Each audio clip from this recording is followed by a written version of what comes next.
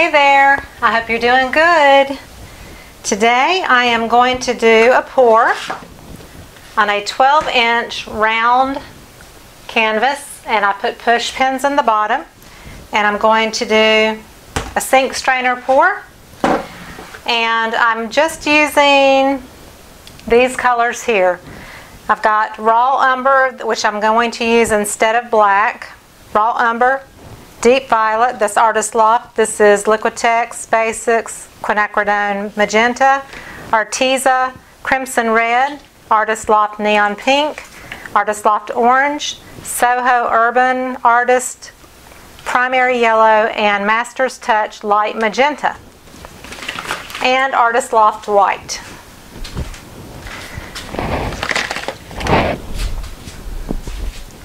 So those are the colors I'm using. I've mixed them all one to one with Owatrol Easy Flow, which is just like Floetrol in the United States. This is a water-based product.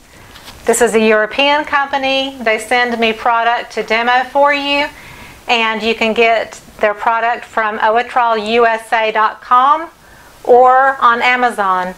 So it's easy flow and it's water based and this is for people that live outside of the United States that can't get Floetrol. So this is a great, great product.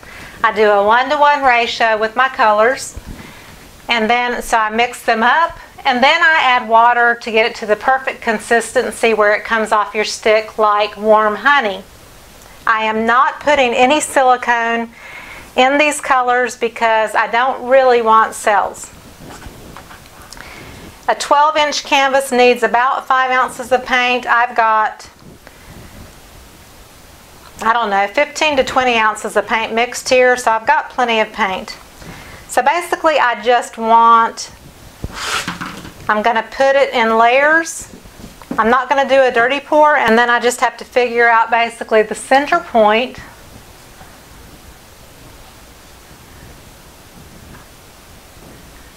I think that's about right. And I'm just going to pour it in.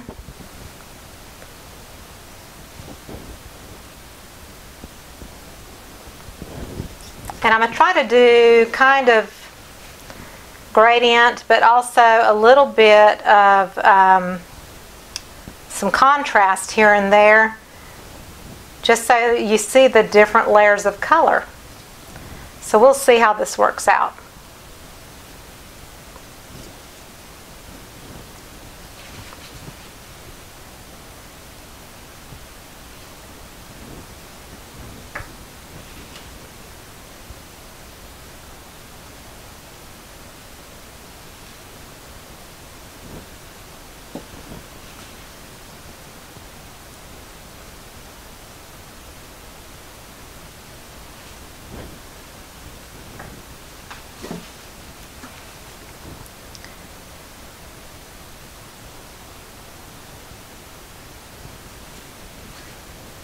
And it looks like it's going downhill a little.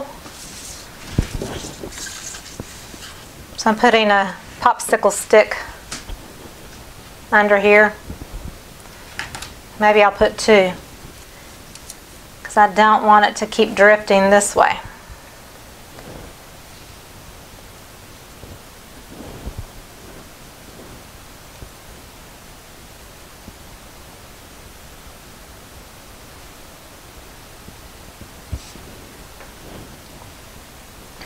The thing about uh, sink strainer pours is you do need it to be level, that's for sure.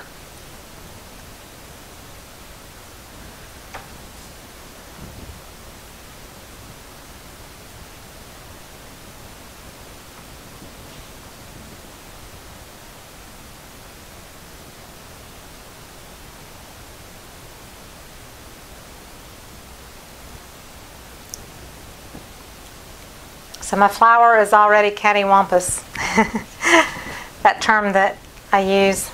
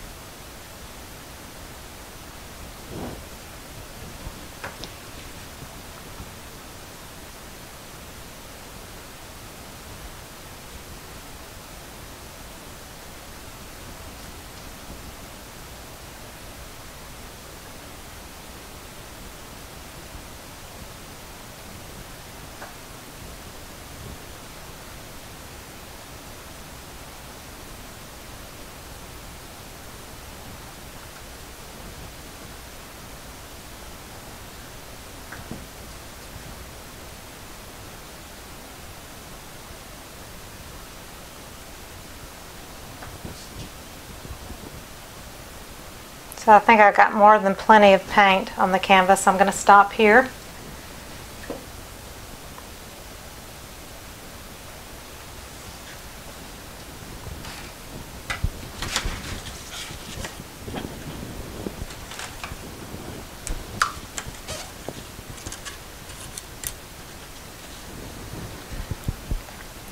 It was drifting this way, so trying to get it back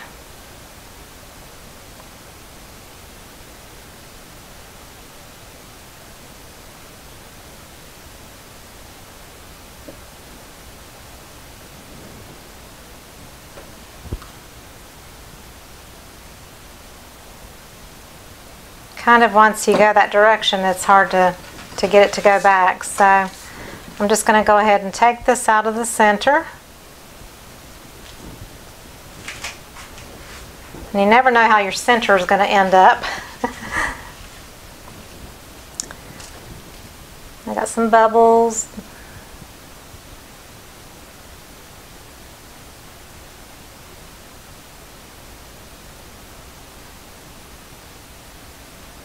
So again, there's no silicone in any of the colors. I guess I'll just go ahead and tilt it and bring it back to the center if I can.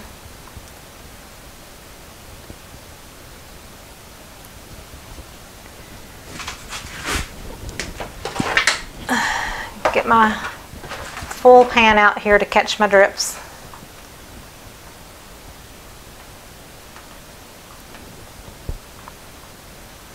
Basically, I'm just getting it to the edges at this point.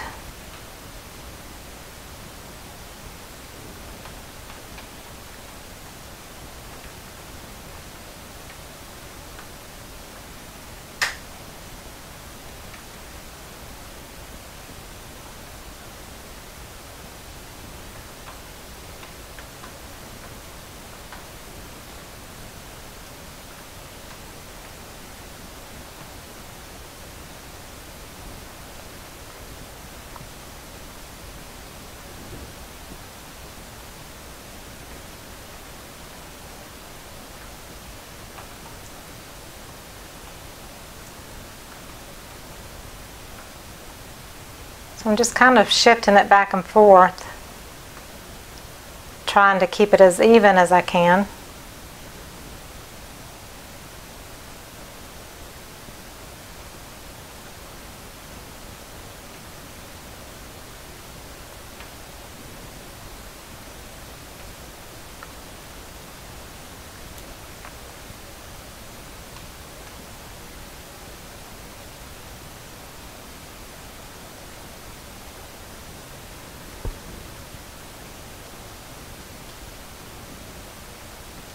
And sometimes you really don't know what color choices to do either. Um, I could have stayed in a really gradient pour and not included the dark brown.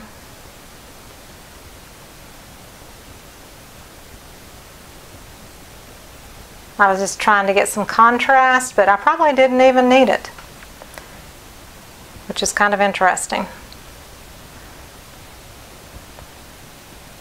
Again, there's no OGX or silicone, so there shouldn't be a lot of cell action going on, technically. I'm going to go ahead and tilt it to where those dark edges just go over, over just a slightly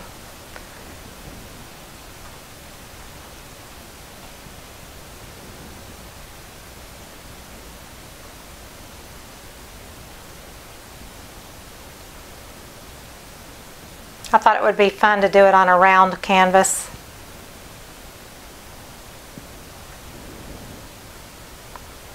As far as wooden circles, um, I've had a lot of issues with wooden circles warping. So when I saw the round canvas, which I got at Hobby Lobby, I thought, you know, I'll give it a shot with the canvas instead of a piece of wood.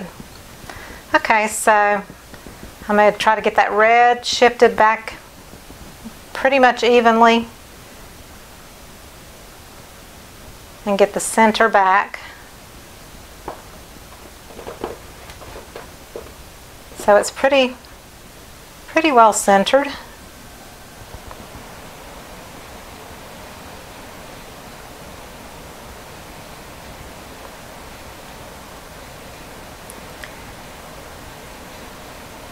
I'm not super crazy about the middle.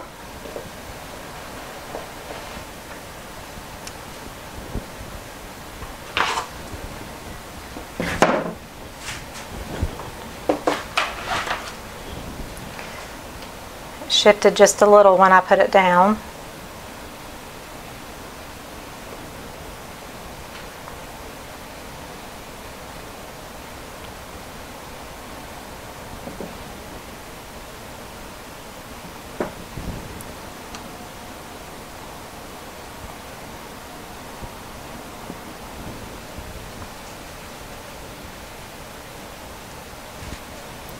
I'm curious if I cover the center up. So I'm just going to do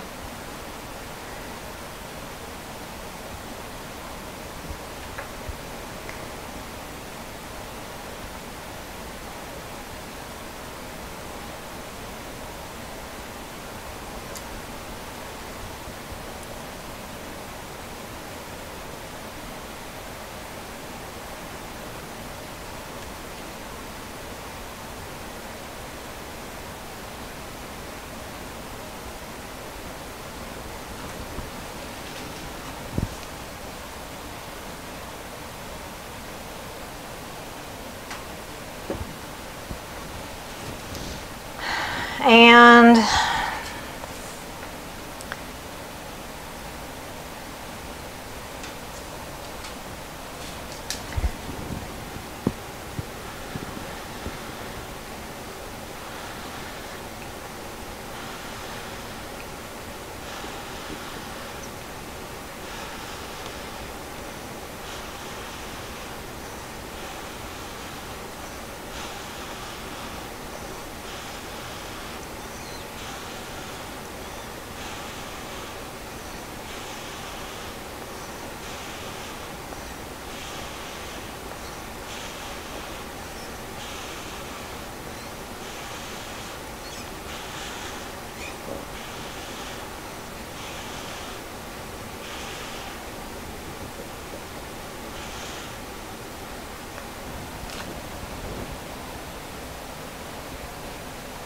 So that kind of got rid of that funky center.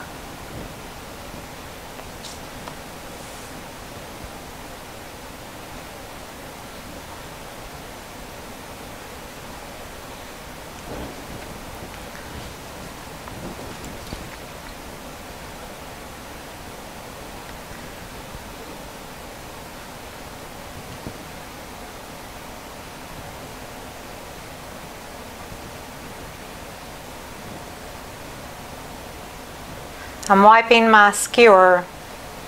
This is a bamboo skewer for food, but I'm wiping it every time I swipe.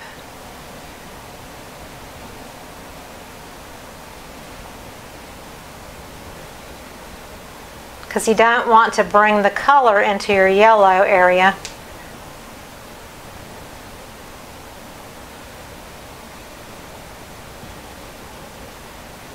Quite get that centered.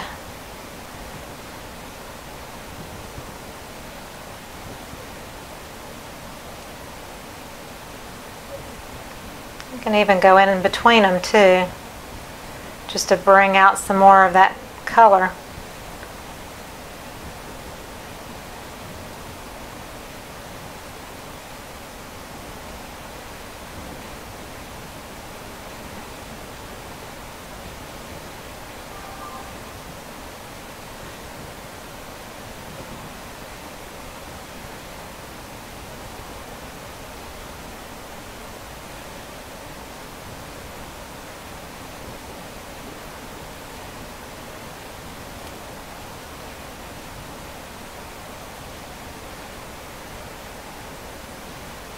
And then there's these probably brown dots from underneath. I'm trying to kind of swipe over them so that they don't kind of pop up. trying to kind of bury them. And I can also just pick out some hot pink for the color.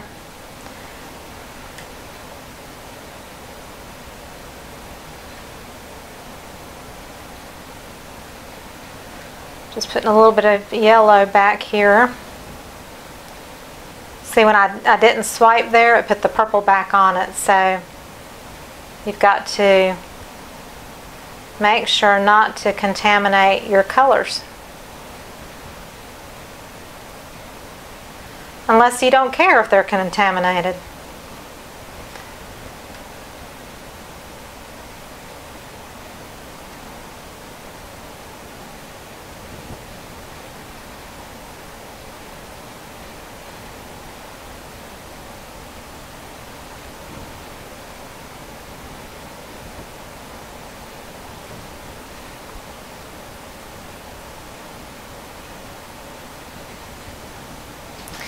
Okay, so it's drifting again.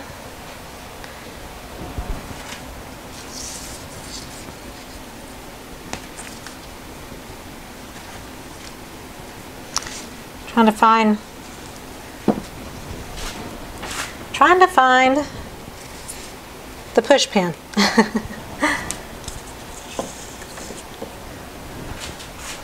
so for some reason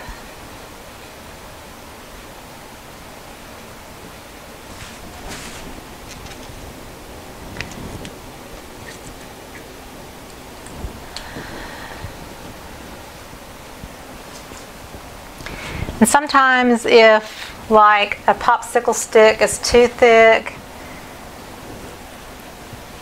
you can use, you know, a folded paper towel.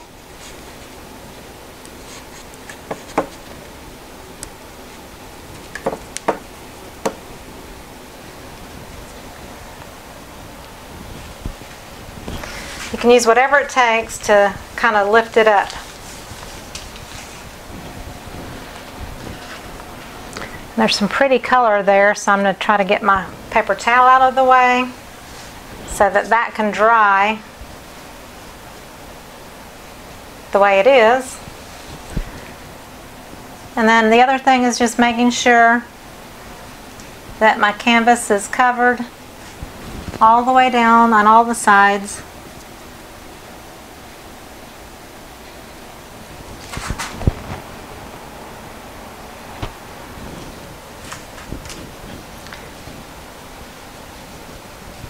So what I'd like to do is swish through this with my skewer.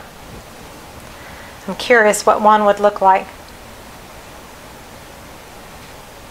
That doesn't look too bad. It gives it a little bit more of a separated petal look. So I'm just coming down not all the way to the yellow,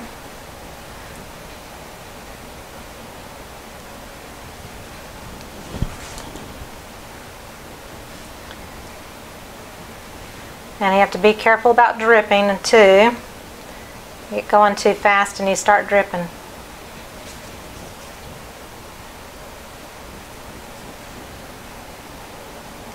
I have a very unsteady hand by the way if you can't tell. I have the shakiest hand in the West. Even though I've been an artist for 20 years, I've always had issues with a steady hand. Not just from being older, but from the beginning, I just never have had a steady hand. So I like that a little bit better. It kind of breaks up that hard edge.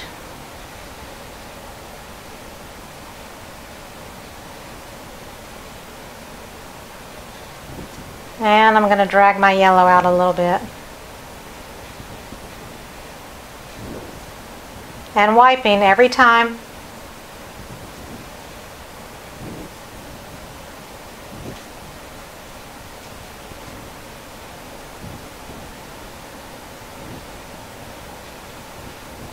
So it's funny that the orange didn't show up really, which was between the yellow and red. Because usually orange can be kind of a strong thing, it can kind of take over. So I'm kind of surprised.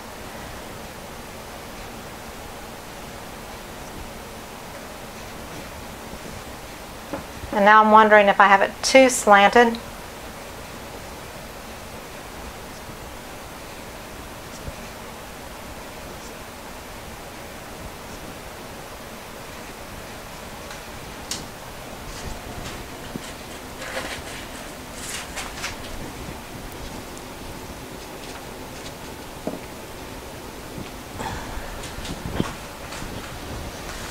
Okay, hopefully that won't be sideways where it keeps drifting. And there's going to be some probably little cells that pop up and that's okay. I don't mind a little bit of cells. And I've got somewhere I've got to go. And so what I do is I just take my colors and I will save them and do more pours with them. But what I'll do for now is just cover them. Sometimes I put cups over them. Sometimes I put plastic. But if you, if you get a, a decent cover over them and you don't leave them sitting too long like I'll I'll make sure that I add them to my other paints or get them really covered well later on today when I get back from my appointment. But for now, they'll stay covered. And it's drifting, I think. I don't know. I can't tell.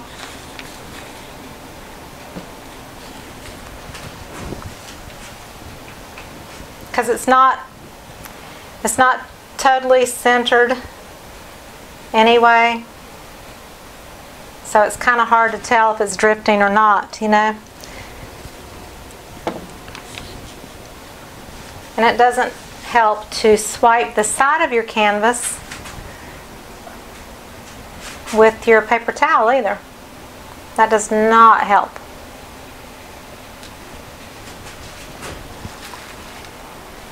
Stick my finger in some purple. I do try to wipe up most of my drips if I'm trying to keep my butcher paper fairly clean. Because like I have a painting that I need to do and I need to lay the painting on this table and do artwork on it. And so I don't want a bunch of wet paint left on my table. So I try to clean up my messes as I go. As much as I can. So there's a really cool pattern here on the table and I am not going to wipe that up except for the little bit of edge over here. I got to show you this. Okay, so here we are down at the canvas and and I think it's still drifting so I'm to have to keep working on it here. It's hard to tell. but so there's where I separated the petals on the red and purple with the skewer. And then this was from the sink strainer left laying on the table, but that's some really cool little patterns going on there. You see all those swirlies and that's really pretty. So I'm going to let that dry just the way it is. So if you enjoyed it, I hope you did. Please give me a thumbs up and subscribe to my channel. Check out all the links below the video where it says show more or your down arrow on your mobile device and iPads. Amazon, PayPal, Facebook, my website, Patreon. Look at all the links and check it out. And I will see you next time. Talk to you later. Bye-bye.